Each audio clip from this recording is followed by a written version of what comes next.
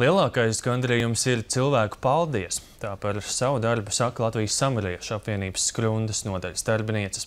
Jo trīs mēnešus pie vientuļajiem senioriem dodas īpaši aprīkots auto, kurā ir viss nepieciešamais, lai aprūpētu cilvēku viņu dzīves vietā.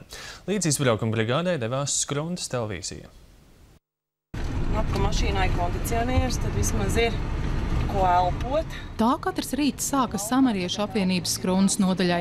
Automašīna, kura aprīkot ar dušu, veļas mazgājumu mašīnu, specializēto aprīkojumu pēdu kopšanai un matu griešanai un vēl citām iespējām dodas pie veciem ļaudīm, kuriem sevi apkopt jau kļuvis par grūtu. Dienā var nokļūt pie 4-5 cilvēkiem.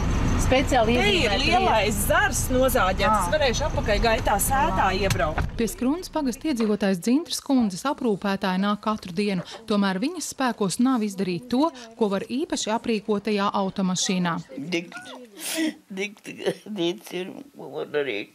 Grūtākais ir lūgt otram, ja tu pats vairs nevari. Tad taču mēs tie vecie paliekam ne katru dienu pa kādam aiziet. Ah, tu varēsi tēt atspērties, jā, jā, jā, stumjam augšā.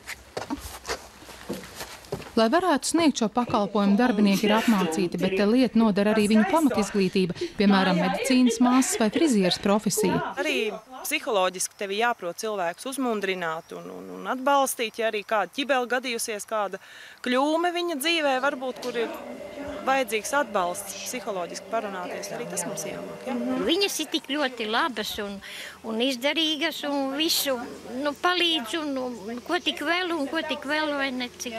Es esmu ļoti apmierināta. Šis pakalpojums Latvijā ir jauns, turklāt vienīgā vieta pasaulē, kur šādi aprīkotas automašīnas ir Latvija.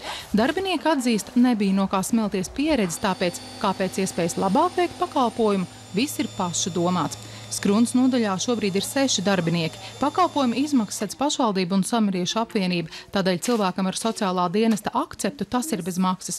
Šobrīd Skrunas brigāde dodas pie 73 vecļaudīm, ne tikai Skrunas novadā. Mēs varam līdz 150 klientiem apkalpot bet uh, pie nosacījuma, ja nav pārbrauciena tālāk pa 50 km. Bet tas ir pareiķināts vasarā. Kā tas būs ziemā, protams, laiks rādīs. Kopumā Latvijā šāds pakalpojums pieejams piecās pašvaldībās. Ieva Benefelda, Lants Peršvits, Skrunas televīzija.